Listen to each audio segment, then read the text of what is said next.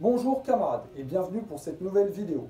Je suis l'Encyclope et aujourd'hui nous allons parler de Louis Cyr, un Québécois né en 1863 et mort en 1912 et considéré comme l'un des hommes les plus forts de l'histoire, si ce n'est le plus fort.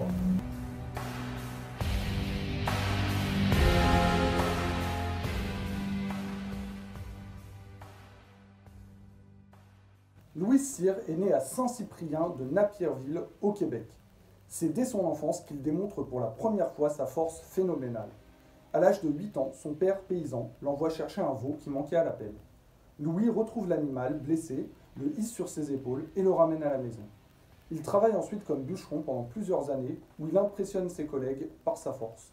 À l'âge de 16 ans, il fait plus de 90 kg. À 17, il en fait 104. C'est à cette période qu'il soulève pour la première fois des haltères. Ceux-ci faisaient plus de 68 kg. Sa force est rapidement repérée par un homme nommé Timothy Donovan. Celui-ci lui achète ses trois premiers haltères, un de 70, un de 83 et un de 89 kg. C'est aussi à cette période qu'il rencontre sa femme, Mélina Comtois. Au printemps 1883, un producteur nommé Max Sommer lui propose une tournée de spectacle dans les provinces maritimes du Canada et du Québec. Cette tournée rapporta beaucoup au producteur, mais celui-ci escroqua Louis Cyr il ne lui donna rien. Louis Cyr a donc décidé d'organiser une tournée avec sa famille, dans un spectacle nommé La Troupe Cyr. Cette tournée sera interrompue quand son fils décède lors de sa première année.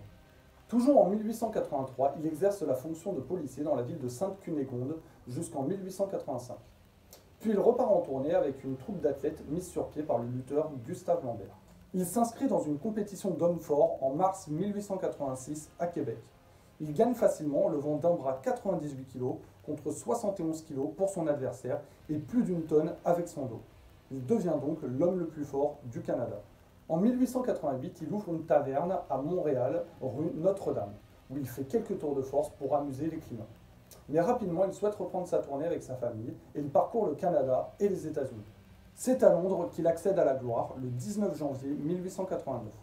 Il soulève 253 kg avec un doigt, 1 tonne 800 kg avec son dos et 123 kg au-dessus de sa tête avec une main. En 1890, il rejoint une troupe américaine où il s'impose clairement comme l'un des hommes les plus forts du monde. Puis l'année suivante, il part en Angleterre où les hommes les plus forts d'Europe ont peur de l'affronter. De retour au pays, en mars 1892, Louis Cyr et un autre homme fort, Horace Barré, signent un contrat d'un an avec le cirque américain des Ringling Brothers. En 1894, les deux hommes créent leur propre cirque avec des athlètes, des jongleurs, des acrobates et des hommes forts. Pendant cinq ans, ils se produisent sur les scènes canadiennes et américaines. À partir de 1900, ça devient plus compliqué pour Louis Cyr. Sa santé se détériore à cause de ses excès à table et il est en plus atteint de la maladie de Bright, c'est-à-dire une insuffisance rénale chronique. Il doit donc retourner au Québec et arrêter les tournées. De temps en temps, il participe à des compétitions où il met en jeu son titre d'homme le plus fort. Le dernier homme à le défier est Hector Descaries, qui ne peut battre Cyr mais celui-ci sent que c'est son dernier concours et laisse son titre à son jeune concurrent. Il meurt d'une éphrite chronique le 10 novembre 1912 à Montréal. Les médias québécois et canadiens lui rendent hommage les jours suivants en lui consacrant leur une. Louis Cyr, outre ses championnats d'hommes le plus fort du monde, s'est aussi fait connaître par des prouesses incroyables qui sont avérées et documentées.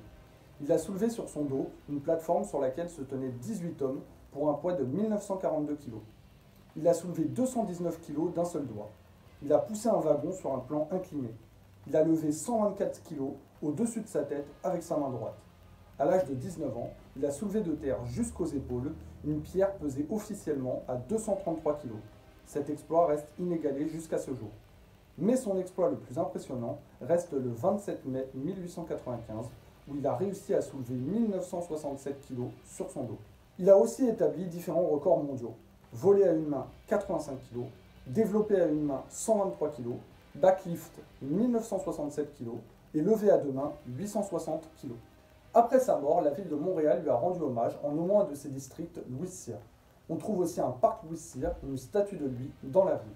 C'était la vie de Louis Cyr, l'un des hommes les plus forts de l'histoire. J'espère que vous avez apprécié la vidéo.